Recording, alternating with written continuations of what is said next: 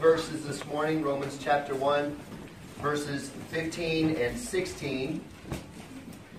I hope you brought your Bible. We really, honestly, I don't think that I would have a whole lot of anything good to say if I didn't have the Bible. So it's important that you have your Bible. Romans chapter 1, if you have your Bible, I'd like you to read along with me verses 15 and 16. First we'll read, then we'll pray, and then we'll be seated. Romans chapter 1, starting in verse 15. So, as much as in me is, I am ready to preach the gospel to you that are at Rome also. For I am not ashamed of the gospel of Christ, for it is the power of God unto salvation to everyone that believeth, to the Jew first, and also to the Greek. Let's pray. Lord, we do thank you so much for the gospel. We thank you that you gave us what we needed. That, Lord, when we were lost, when we were in sin, when there was no hope for us, that you provided for us through your Son. Lord, the way of salvation. We're so thankful, Lord, that we can be here this morning, that we can gather together to look into your word, to see what your word has to say. And I pray, Lord, that our hearts would, Lord, be open to receive your truth, that everyone here would be, Lord, ready to respond to your voice, and that, dear God, you would just empower Lord, the preaching this morning in a special way, and that you would be with us in the service. We'll thank and praise you in Jesus' name. Amen. Amen. And you may be seated. Seems like the older I get, the older I get, the more I realize that the simple message of the gospel is becoming more and more scarce in pulpits today. It's almost as if there's a movement. A movement away from proclaiming the simple truths of the gospel, which is the only message, by the way, that can ever change your life. The word gospel is mentioned 17 times in Matthew, Mark, and Luke. It's not mentioned in John. I don't know why. I guess John just never wrote that word. But it's mentioned another six times in the book of Acts and then it's mentioned another 81 times in the rest of the epistles. Now that's quite a lot. The word gospel is used in the Bible. Altogether, the word gospel is used 104 times in the New Testament.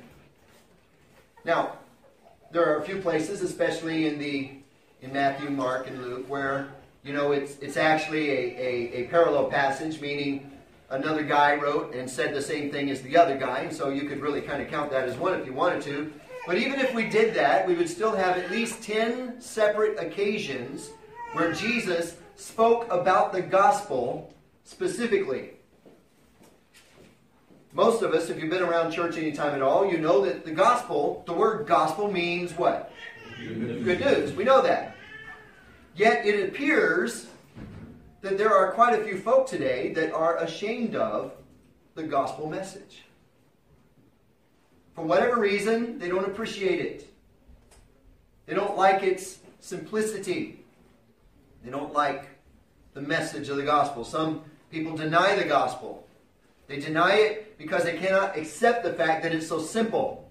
They can't accept the fact that it, it charges man with sinfulness and condemnation and in need of a Savior, Jesus Christ. Others ignore the gospel They'll pretend that there is no God, no heaven, no hell, no afterlife, no personal responsibility. We'll just ignore all of that and live however we want to.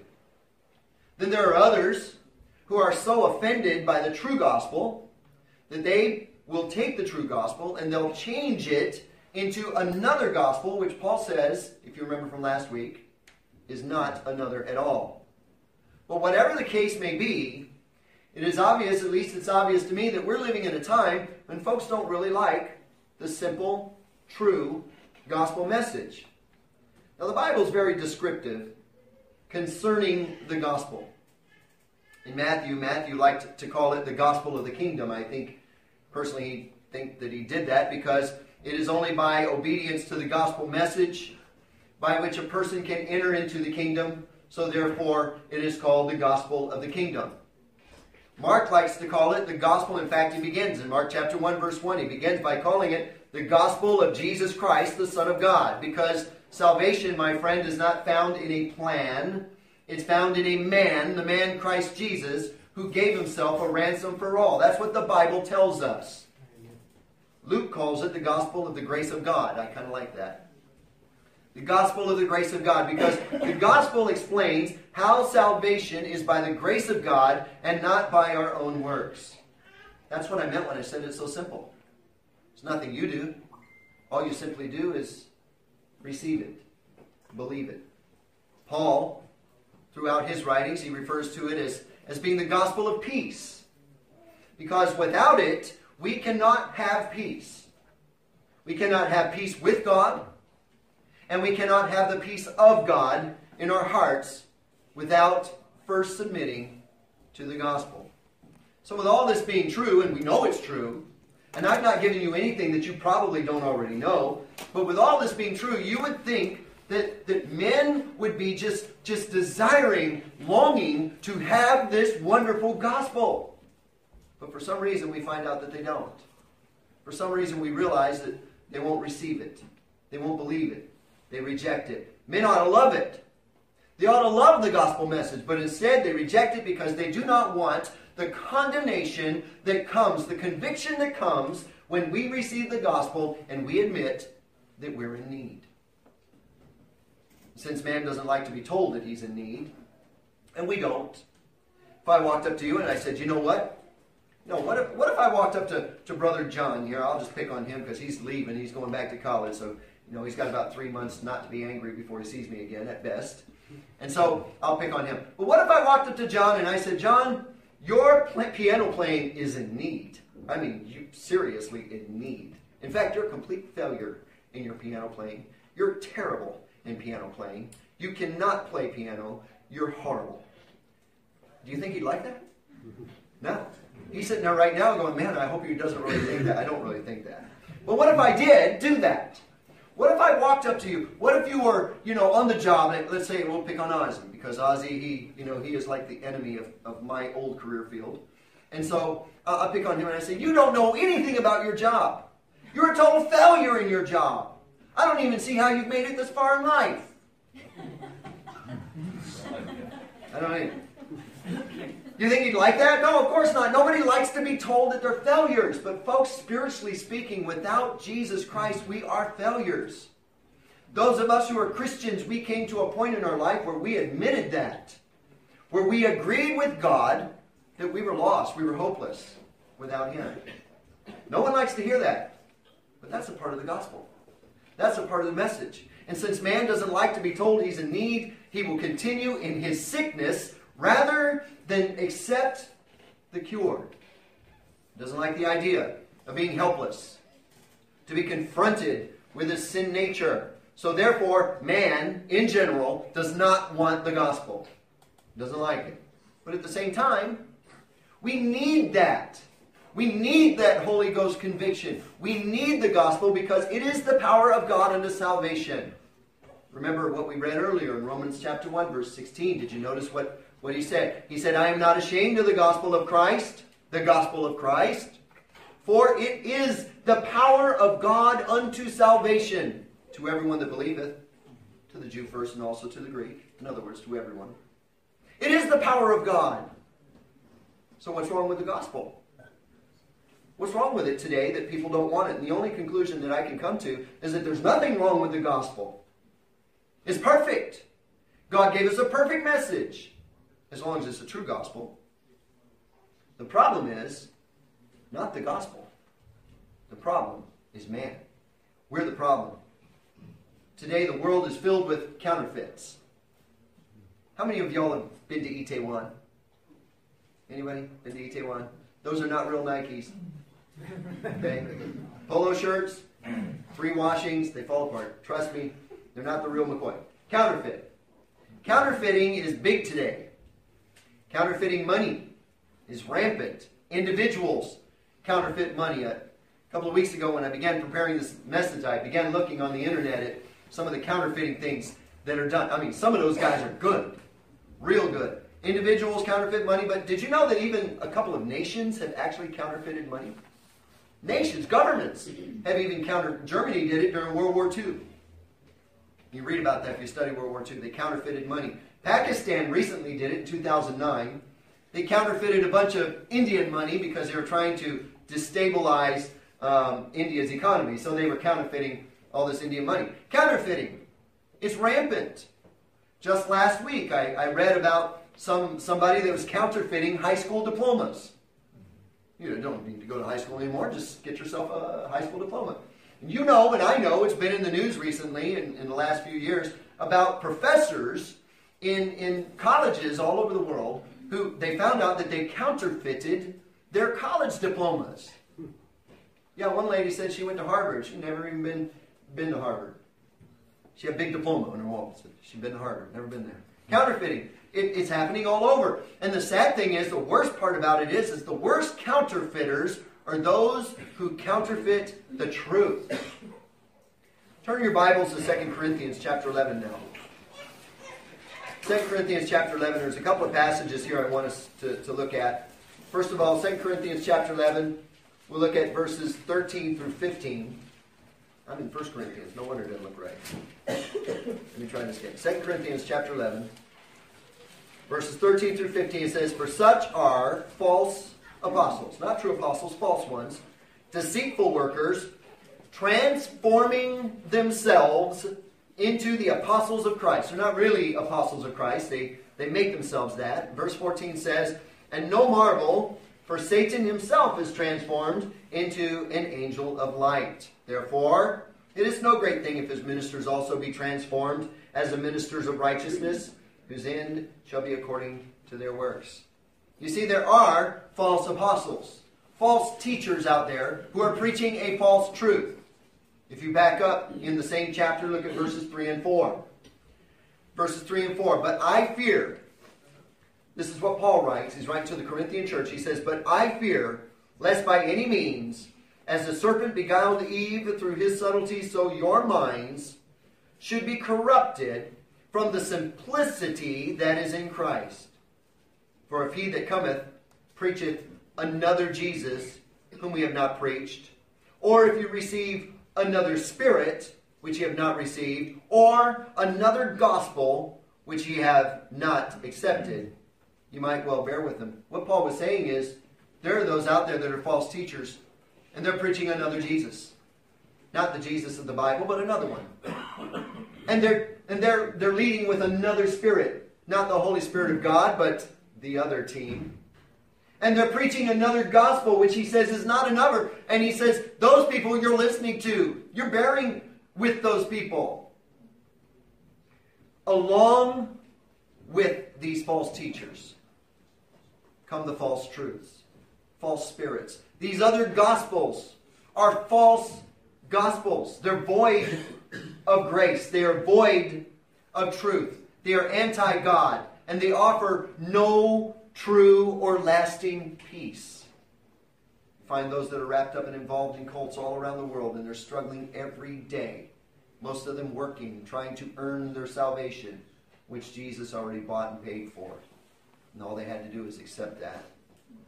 Now I know that there are many churches today that still preach the truth, for which we thank God. And yet there are many more churches who present us with another gospel, and those other gospels have some really big problems. Now, we began touching on this last week, and this week I want to get a little bit more in depth into this. The other gospels. If you have your bulletin, you can see that it's really a simple outline. The first thing we learn about the other gospels is, is that they are they have big problems because there is the neglected portions in the other Gospels. Things that are left out, if you will. For one thing, the blood of Christ. The blood of Christ. We sang about that this morning. Did you notice that? Saved by the blood of the crucified one. It's another great song. I, I had a hard time deciding what songs to choose this morning. So many great songs. The blood of Christ is left out of the other Gospels. It's either de emphasized or removed altogether. I heard of a preacher who once proclaimed publicly that he wanted nothing to do with that bloody gospel.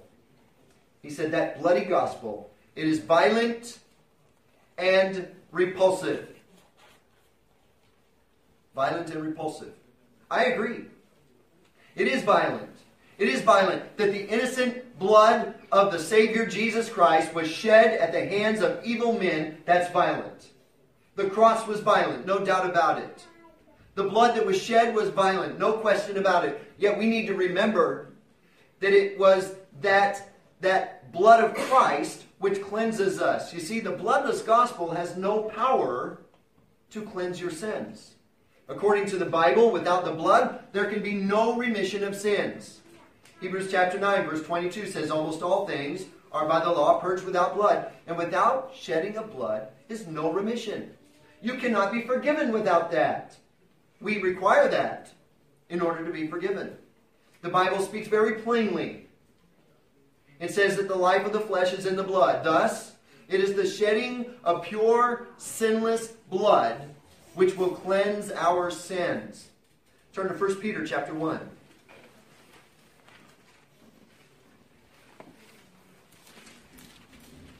First Peter chapter 1, verses 18 and 19.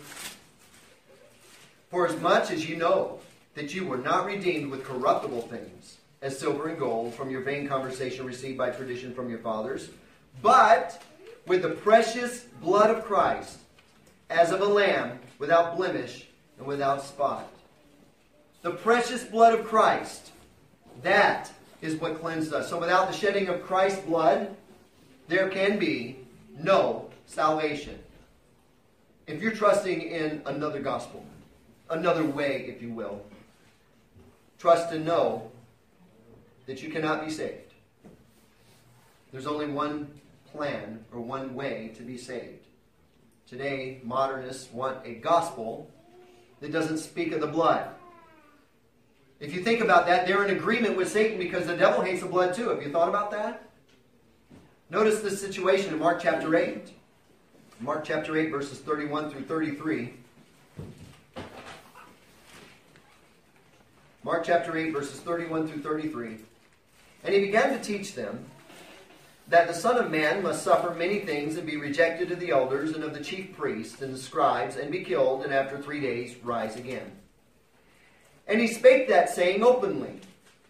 And Peter took him and began to rebuke him. But when he had turned about and looked on his disciples, he rebuked Peter, saying, Get thee behind me, Satan, for thou savorest not the things that be of God, but the things that be of man. You see, Jesus was very adamant concerning his death. It is necessary. It is not enough for us to believe that Jesus was a good man. It is not enough for us to believe that Jesus was a, a wise prophet. It is not enough to believe that Jesus was a great leader. Though all of those things are true, we must go beyond that and believe that Jesus is the way, the truth, and the life. Without that, it's not enough. Without the death, the burial, and the resurrection of Jesus Christ, you cannot be born again. There is no other way. It is necessary. The blood of Christ is the basis of the gospel. The basis. On the night that he went to the cross, that night in the upper room, Jesus offered a cup of wine to his disciples, and he says this in Luke chapter 22, verse 20. Jesus says this this cup is the New Testament in my blood, which is shed for you. Now, he had not died yet. But he was pointing out the very fact that, that the very basis of the gospel is his blood.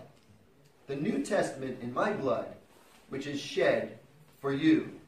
The pouring of the wine in the cup symbolized the blood of Christ, which would soon be poured out for all who would come to believe in him. When Jesus shed his blood on the cross, he did away with the old covenant requirement of sacrifices of animals. He became the final sacrifice. By one offering, he hath perfected forever them that are sanctified. Hebrews 10 14. Folks, listen. A bloodless gospel is not a gospel. The second thing wrong with modern gospels, with the other gospels, if you will, is that hell is either missing or ignored. You can listen to some of these big name preachers on TV. And they'll, they'll preach a, a nice, wonderful message about loving man and, and doing good and helping little old ladies cross the street and all that stuff. But rarely will they ever mention hell. In fact, some of them will never mention hell. They ignore it, they won't preach it. But I remind you that in the Bible, no one ever preached hell the same way that Jesus did. I read that Jesus preached more on hell than he did on heaven. I checked that out. That's not true, actually. It's not. He preached on heaven more. If you look at all the scriptures where Jesus speaks, he spoke of heaven more than he did hell. But the reality is, no one ever preached hell the way Jesus did. He knew the reality of hell. He understood what hell was all about. I remind you, when no one else had ever seen it, Jesus had. He created that place. He is God in the flesh, and He made all things, including that place. He knew what it was like. We don't really know. We know what the Bible says. We understand that it's a horrible place, but we've never really seen it. When Jesus preached hell, He preached it as one who had seen it. In fact, Jesus spoke of hell in over 35 different places. So, what does that mean to me? That means that I need to preach hell too. We, we must preach hell to the lost. The average person goes about his day every day, day in and day out, without any consideration that he has a future at stake. That there is more to life than just this life. They don't seem to realize how close they are. Day in and day out, not even understanding that eternal destruction is just around the corner. Separation from God for eternity is just around the corner for them. We must tell them. They are, for the most part, unaware, do not realize their spiritual condition, and somebody needs to warn them. Probably you've heard the illustration before, but if you were driving down the road and you saw your neighbor's house on fire and you knew that mom and dad and three or four children were in there in that house sleeping and their house was on fire, what would you do? Well, I don't want to tell them their house is on fire. They won't like to hear that. That's not pleasing news. They won't like to know that their house is burning down around them. I mean, that's not a very comforting thought. So I'm not going to tell them. I'm just going to keep on driving. Now, you know as well as I do that none of us would do that. We would stop. We would get out of the car. We'd run to our neighbor's house. We'd bang on that door until they opened. And if they didn't open, we would knock the door down. We would go in there. We would wake them up. And we would do everything we could to get them out of that burning home. Now, folks are going to hell every day, and we pass them by. We don't even think about it. We don't even care most of the time. And if we did care, we do nothing. Folks, listen, hell is a real, literal place. And people are going there. People that you know and people that you love. And we need to tell them. We need to preach hell. We need to tell hell tell Christians about hell. We need to we need to wake Christians up because people all around us are going there. They're getting closer every day. But here we are, asleep, spiritually. We go to church, read our Bibles. Some of us get up in the morning, read our Bibles, and have our prayer time. Go off to work, and that's the last time that we even think or care anything about God. And we go through the rest of our day with people who are condemned. And we don't say anything to them. We need to preach hell. If you could see their lost condition, I mean, if you could really see it and see how hell was waiting for them, maybe you'd start to pray more and work more toward their salvation. Christians need to hear about hell. Today we got the modernists and postmodernists, and they want to paint a picture of God as some kind of soft, cuddly grandfather, you know, sitting up in heaven on his rocking chair out on his front porch, you know, with candy in his pockets for his for his children, and you know that, that God is, oh, that's all right, you know, I know you. Look, I'm a grandparent. I know grandparents look at their grandkids and they think that their grandkids are perfect. Mine are. The rest of y'all only think that. Mine really are. We think that our grandkids are perfect, but God is not a grandfather. No, sir. He is a father. And as a father, we look at our children and we know that they're not perfect. And we know that there's a lot of work to be done. When God looks at us, He's not winking at our ignorance anymore. He's not closing His eyes at our condition at all. In fact, the Bible tells us that we have a, a holy God, a God who cannot condone or overlook wickedness, There is a place called hell, and those who die without repentance and faith in Jesus Christ are going to go there. That's serious. Romans chapter, I'm sorry, Revelation chapter 20, verses 11 through 15. Revelation chapter 20, verses 11 through 15. And I saw a great white throne, and him that sat on it, from whose face the earth and the heaven fled away, and there was found no place for them. And I saw the dead, small and great, stand before God. And the books were opened. Another book was opened, which is the book of life. And the dead were judged out of those things which were written in the books according to their works. And the sea gave up the dead which were in it, and death and hell delivered up the dead which were in them. And they were judged every man according to their works, and death and hell were cast into the lake of fire. This is the second death. And whosoever was not found written in the book of life was cast into the lake of fire. Now, I've heard some of these preachers that don't like to talk about hell. And they'll take the Greek words or the Hebrew words or whatever, and they'll say, well, this could actually mean this, or that could actually mean that. And you know what? There's not much you can do with lake of fire. Lake of fire is lake of fire. I looked it up in the Greek. Do you know what it says in the Greek? This is really deep. You're going to love this. It says lake of fire. Isn't that awesome? Yeah, that's a real, literal, horrible place. And people are really, literally, horribly going there every day. Rome, uh, Revelation chapter 21, verse 8. But the fearful and unbelieving and the abominable and murderers and whoremongers and sorcerers and idolaters, you say, I made it. I'm none of those. Oh, wait a minute. There's one more. And all liars. That condemns us all. Shall have their part in the lake which burneth with fire and brimstone, which is the second death. There's no escape, folks. Without Jesus Christ, every one of us are condemned on our way to a literal hell. Psalm 9, verse 17 says, The wicked shall be turned into hell, and all the nations that forget God. Now, we could go on and on and on. There are lots more verses about hell in the Bible, but I think we've made the point. The ironic thing about this whole thing is that God never really desired for anybody to go there. He tells us in Matthew that, the, that hell was created for the devil and his angels. And yet there will be millions, maybe even billions of people there. That God never desired for us to go there. He never desired or does not desire for us to be condemned. And that leads me up to the very next point. The third thing wrong with so many of the other Gospels is that repentance is either absent or misrepresented. Like I said earlier, nobody likes to be told that they're wrong.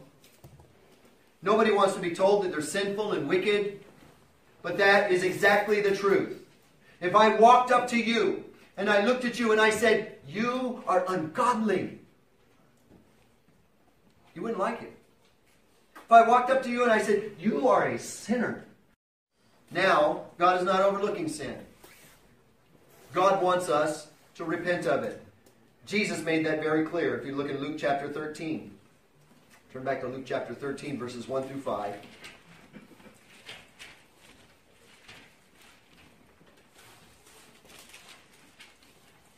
There were present at that season some that told him of the Galileans, whose blood Pilate had mingled with their sacrifices. And Jesus answering said unto them, Suppose ye that these Galileans were sinners above all the Galileans because they suffered such things? I tell you, no. Nay, but except ye repent, ye shall all likewise perish. Or of those eighteen upon whom the tower of Siloam fell and slew them, think ye that they were sinners above all men that dwelt in Jerusalem? I tell you, no. Nay, but except ye repent, ye shall all likewise perish to me, this is a pretty interesting passage. You know, Jesus' opponents come to him and they present him with the situation. Some people from up north in Galilee had apparently come down, they'd visited Jerusalem. Somehow, they'd fallen into big trouble. Big, big trouble. They made Pilate angry. Maybe they'd gone into the temple to offer sacrifices and under the cover, cover of religious rites, or maybe they started sowing seeds of revolution against Rome. We don't really know what they did. Maybe they drew mustaches on Pilate's picture. I don't know what they did. But they got Pilate angry. And he took them and he killed them. The Roman governor slaughtered these Galileans and he mixed their blood with the blood of their sacrifices. Based on Jesus' replies, it's a gruesome report. But based on Jesus' reply to this report, it seems like those who, who were telling him about it were looking down their noses at those deceased Galileans. They're saying, Look at these guys, Jesus. Man, they must have been really bad for that to happen to them. They must be pretty big sinners if God let that happen to them. They were thinking that. They were thinking, well, these Galileans, they must have been terrible sinners before God in order for God to allow them to be killed that way. But Jesus' answer was very brief and very to the point. His answer is basically, you think those Galileans are worse? You think that they're worse than all the other Galileans because they suffered that way? Absolutely not. And then Jesus calls forth another disaster. It had just been that morning on Yahoo News. And everybody had read about it, and everybody knew about it. The Tower of Siloam had fallen over and killed a bunch of people. So he calls to mind this construction accident that happens 18 people have been crushed and killed, and Jesus asked them, Do you really think they were worse sinners because the tower fell over and killed them? No. Now, what was his point? His point he makes here, except ye repent, ye shall all likewise perish. And he wasn't talking about physical death. He was saying that they needed to repent, to turn from their sins and turn to God. That was his point. Repent. What a big word. Do you know that repent was the first command preached on the day of Pentecost? It was the first command preached. It came as an answer to the question, Men and brethren, what shall we do? Jesus said, or, or Peter said, repent. John the Baptist, he began his ministry by preaching repentance. In Matthew chapter 3, verse 2, repent for the kingdom of heaven is at hand. Jesus comes along later in Matthew 4, verse 7, repent for the kingdom of heaven is at hand. Paul preaches it in Acts chapter 20, verse 21, repent you cannot escape repentance in the scriptures. Jesus commissioned us. Did you know that? Jesus commissioned us to preach repentance. Look in Luke chapter 24, verse 47. Luke 24, verse 47.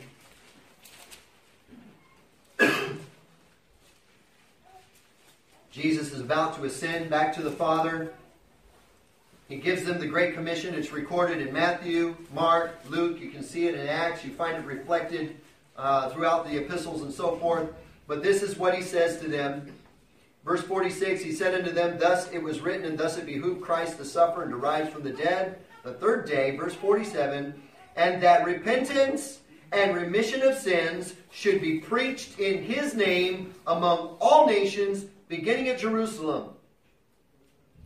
Jesus commissioned us to preach repentance and remission of sins. So if we will not preach repentance, then maybe that's why we don't see any real converts. You ever thought about that? You know, I hear preachers and pastors all over the world. You read, you know, news, uh, religious news, and they say that the churches are dying. The churches are dying. Churches that preach the gospel and repentance, they're not dying. People are getting saved. They're not dying. Churches that are dying are really already dead because there's no real gospel in them. They're the ones that are in trouble. If we'll not re- preach repentance, then we'll not see real conversion. One reason why we have so many false conversions today is because there's no genuine repentance. You see so much of that. You know, they go to the door and knock at the door. Hey, do you want to go to hell? No. You want to go to heaven? Yeah. Well, then let's pray this prayer. Repeat after me God, God, I love you. I love you. Can you please take me to heaven? Can you please take me to heaven? Amen. Amen. Well, there you are. You're in. Here's your free ticket. Folks, that's not the gospel. That's what we call easy believism. There's no working in the heart. There's no Holy Spirit conviction. There's no, con- there's no conversion from their sin. They do not feel any guilt. They do not feel any shame for their sins. They do not really repent and we give them a free ticket to heaven? I don't think so. That's not the way it works. 2 Corinthians chapter 7, verses 9 and 10. Paul writes, he says, Now I rejoice, Not that you were made sorry, but that ye sorrow to repentance.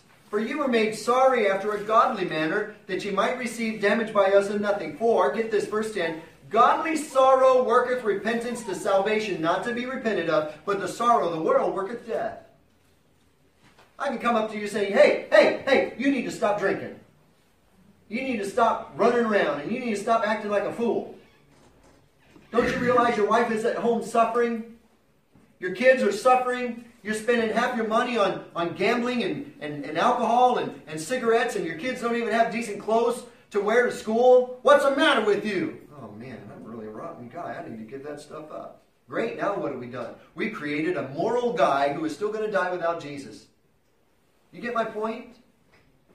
Godly sorrow worketh repentance.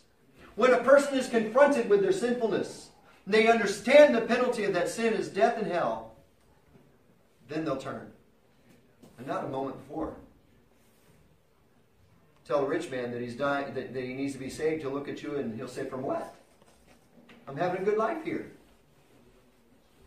A fourth aspect of other gospels is, is that a changed life, which is what we get when we're born again, a changed life is either non compulsory, in other words, you don't really have to do it, or it's minimized. Well, yeah, you don't have to be real holy. I mean, you can just give up one or two things and keep everything else. Just tack Jesus on to your dirty, rotten, sinful life, and everything be all right.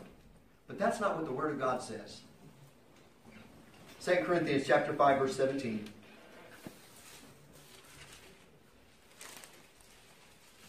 Second Corinthians chapter 5, verse 17 says, Therefore, if any man be in Christ, he is a new creature. Old things are passed away, all behold all things are become new. Now if i understand this verse correctly when we get saved the lord gives us a new life. In christ our old life dies and we change. Now none of us are perfect.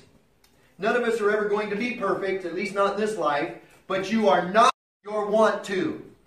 You don't want to do anything anymore that you used to do. You want to be different. You have a desire that God put within you to live for Him and to do what's right. And if you didn't get that, you need to be checking out to see what kind of salvation you got because my Bible tells me that God changes me. Philippians chapter 2, verse 13. The Bible says, It is God which worketh in you both to will, in other words, your desire, I want to, both to will and to do of His good pleasure. Not only do you want to do right things, but you will do right things. That's in the Bible, folks. That's God's Word. It's because of these passages of Scriptures and others like them that make it very clear to me that a lot of people didn't get the same salvation I got. I don't know what they got, but they didn't get the same one I got. Because all, all real believers will change. They will be different. Nowadays, the other gospels present a salvation as if it's nothing more than just an insurance plan, you know? No, the gospel changes lives. It changes lives. The gospel changes you. People today, they want to add Jesus to their dirty, rotten lives, but you cannot do that. In Luke chapter 5, verses 36 through 39, Jesus tells a parable in Luke chapter 5, 36 through 39. And he spake also a parable unto them. No man putteth a piece of a new garment upon an old. If otherwise, then both the new maketh a rent, and the piece that was taken out of the new agreeth not with the old.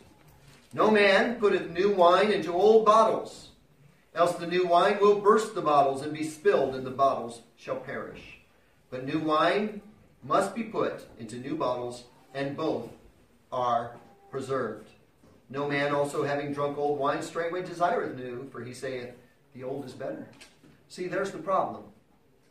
Those that are in the old life, they desire the old life, they don't want the new life. And Jesus says you can't put new wine, the gospel, into old bottles, old dead religion. You can't do that. It doesn't fit. Jesus will not fit into your life. He will change you. He will make you a new bottle so that you can have a life worthy of his filling. Anytime you hear a preacher or any other person say, well, you don't have to really change your life, you can be sure that he's not preaching the same gospel that the Bible has. You need to remember that. Things that are neglected from the other Gospels today. Now let's quickly look at the added portions. Kind of touched on this a little bit last week. Well, one thing that we find added today is works. Works and faith are in direct conflict. Works will ultimately be a hindrance to real salvation because works are a product of our flesh. In Galatians chapter 5 verse 17 says, "For the flesh lusteth against the spirit, and the spirit against the flesh, and these are contrary the one to the other, so that you cannot do the things that you would." If you are trying to do a work of the flesh, if you are trying to work your way to heaven, you need to understand that you will never be able to work hard enough. You will never be able to do enough good works. Romans chapter 4, verse 4, it says that we have a debt. We are debtors, and we cannot work off that debt. No matter what we do, Jesus must do it or it cannot be done. What kind of insult is that to God? Who gave his son to die on the cross for you and I, and we look at God and we say, No, God, that's all right. I don't want your plan. I'll make it my own. I'll do it my way. After God has said, You can't do it, and I love you so much, and I know you can't do it, so I'm giving you my son. Will you accept this plan? Nope, I'll do it my way. I don't need you, God. I'll get down my own way. What an insult. He's given his son for our sins, yet mankind rejects his son in favor of his own plan. Titus chapter 3, verse 5. Titus chapter 3, verse 5 says, Not by works of righteousness which we have done, but according to his mercy he saved us. You didn't deserve it. He saved you according to his mercy. By the washing of regeneration and renewing of the Holy Ghost. It's a false hope that we could somehow, some way, do something that would ever be good enough to get us into heaven. The only person that's ever done anything good enough to get me into heaven was Jesus. Nothing else works. Works added to the gospel perverts the gospel and changes it into another gospel which can do nothing for you. Another thing that I see often added today is plain old humanism. Humanism. The world is cursed. Cursed with a blight, if you will, of positive thinkers and prosperity preachers. They try to tell you that sin or blood or hell or repentance or judgment, those are negative terms and we ought not use them. Don't say negative things. Say positive things. Make people feel good. Uh, you know, I, I don't want people to, to feel bad. I don't want to hurt people's feelings. You might not believe that after this morning, but the truth is, I don't like to offend people. I like people to like me. I want people to like me. But I don't want people to be happy and go to hell, and I was responsible for telling them and didn't do so, and now I'm responsible for not giving them the message that could have changed and saved them. I don't want that either. I want to please the Lord. You know, you know what Peter and John said? They, they said, you, you decide, is it right for me to please man or God? Obviously, it's right to please God. So I have to tell people. We must tell people. There is no room to eliminate all the negative things that we don't like. Those negative things help us understand where we really are in life. The Bible is clear. These are necessary elements to the message of salvation. How many missionaries are traveling the globe today seeking to reform society